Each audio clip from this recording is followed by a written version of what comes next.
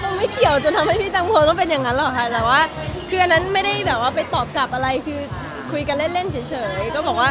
ใช่สำหรับโตโน่กับน้องลิศเนี่ยก็เป็นคู่กันอยู่แล้ว ก็อันนั้นมันเป็นเรื่องจริงอยู่แล้วว่าอันนั้นแน่นอนอยู่แล้ว แล้วก็ส่งหน้าอิโมชันไอคอนหน้ายิ้มไป คือไม่ได้มีอะไรกันค่ะ รู้จักกันค่ะรู้จักกันใช่ รู้จักกับพี่แตงโมอยู่แล้วคือ ไม่ได้มีเรื่องผิดผิดใจอะไรกันทั้งสิ้นเลย เข้าใจกันทั้งสองฝ่ายแน่นอนเรียกว่าพักไหนใช่ใช่เป็นการแซวจริงๆเพราะพี่พี่โมเขามาเมนว่าแบบต้องโนลิสิเจียบเท่านั้นอะไรเงี้ยจะก็บอกใช่อันนั้นแน่นอนอยู่แล้ว มันเป็นแค่การตอบแบบตอบธรรมดามากๆเลยอะค่ะ อันอันอันนี้คงคง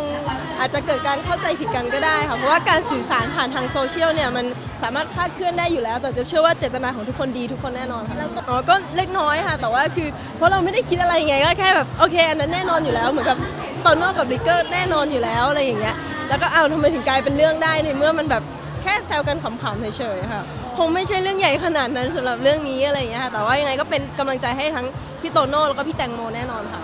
ตกใจนะคะว่าเออเรื่องเล็กๆ สามารถเป็นประเด็นได้ แต่ว่าเชื่อว่าไม่ใช่สาเหตุที่ทำให้พี่แตงโมทำอะไรอย่างนั้นแน่นอนค่ะ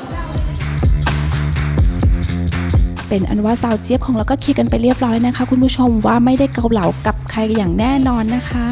เอาเป็นว่าแฟนคลับทั้งหลายก็สบายใจกันได้ทั้งสองฝ่ายเลยนะคะ